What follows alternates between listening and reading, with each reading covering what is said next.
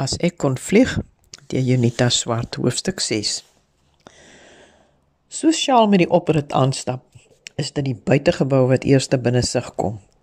Met die eerste aanblik dring dit nie tot hom deur nie, maar dan spring die vreugde oral in hom op.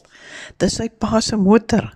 Sy pa weet tog dat hy en Gerrit nie voor later vanmiddag veronderstel is om tuis te kom nie en tog staan sy motor voor die motorhuis.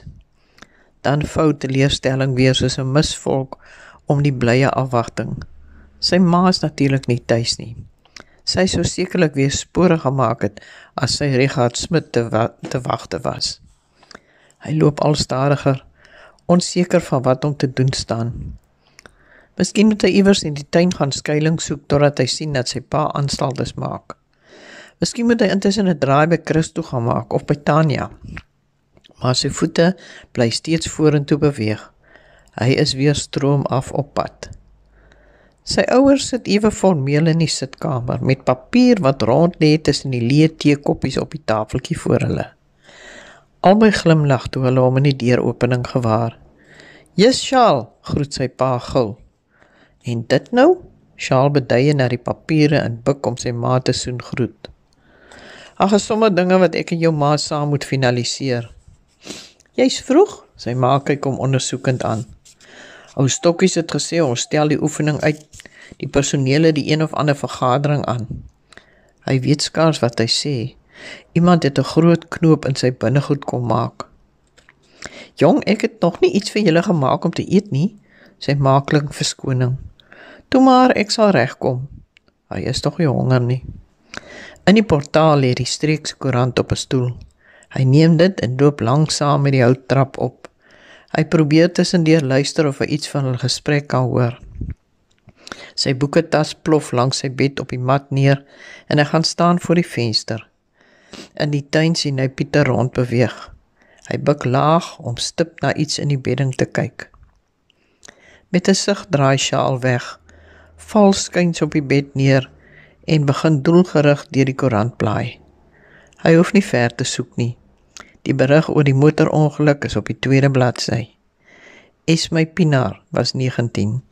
Sy sal Dinsdagmiddag om 15:30 begrawe word uit die moedergemeente van die dorp waar haar ouers woonagtig is.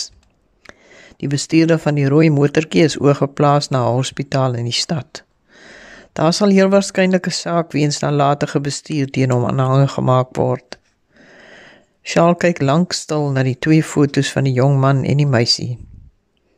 Sy was nogal mooi. Sy lyk so vrolik op die foto. Lagplooitjies krekel om haar oë. Haar oë. Die swart en wit foto verdwyn in 'n waas. Hy sien haar lê, haar kop skeef gedraai teen die teerpad. 'n Oomblik lank oorweeg hy dit om die berig aan sy ma en pa te gaan wys en hulle vertel vir alles wat hy gesien het. Dan sug hy en draai op sy rug.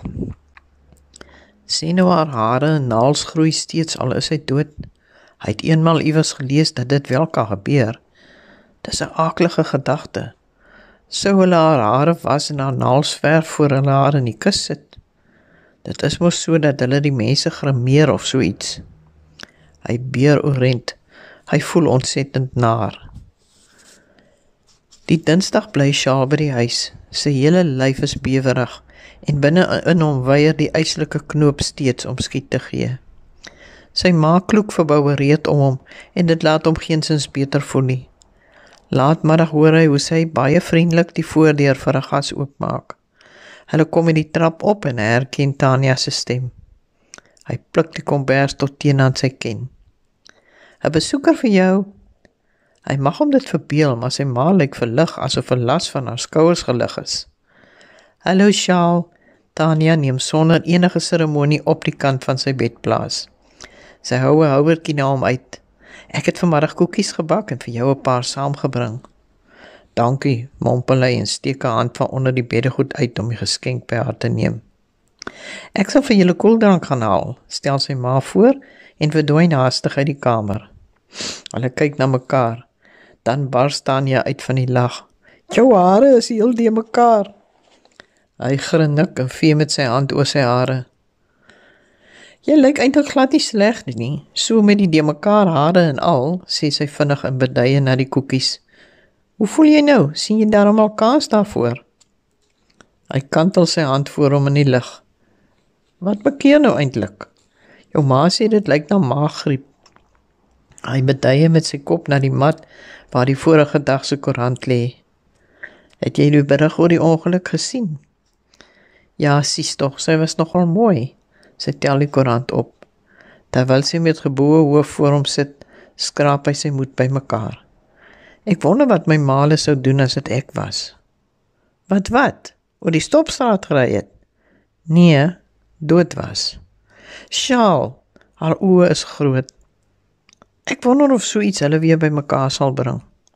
Jy moenie so praat nie. Hy roer sy skouers. Ek wonder maar net.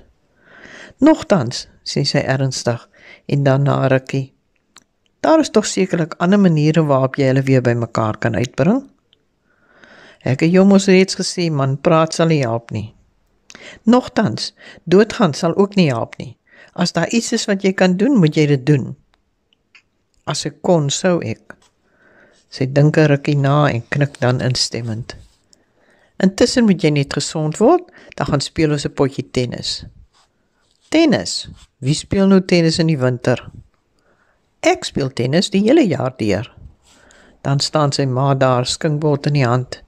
Hulle daar nie eers oor aankom nie. Ek moet gou dorp toe julle sal mos regkom, nê?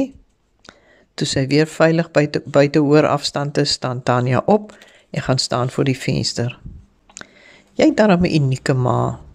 My ma sal my tog so willens en wetens stok alleen by 'n seun los. Sjaal verbaas hom altyd oor Tanya, Tanya se uitgesprokenheid. Hy voel skielik 'n bietjie verleë.